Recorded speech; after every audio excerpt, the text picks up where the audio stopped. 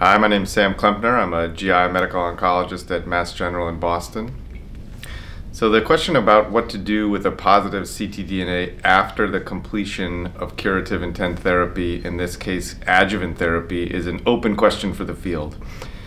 It's a really uh, nerve wracking situation for patients to know that we have a test that has a very high predictive uh, ability um, and a poor prognostic feature. So it informs us that the patient is at a higher risk of recurrence after they've finished their adjuvant therapy.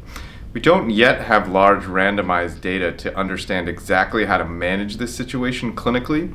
Certainly, these patients are at a very high risk of recurrence, and it's tempting to think about introducing delayed adjuvant or early metastatic therapy in this clinical scenario. And that's exactly the question that several ongoing clinical trials are starting to address.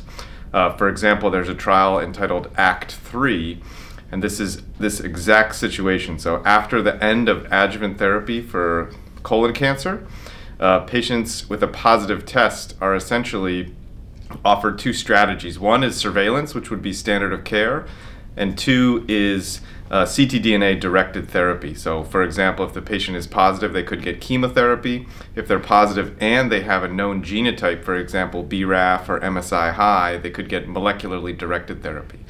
So, I think the answer to the clinical situation is we don't know.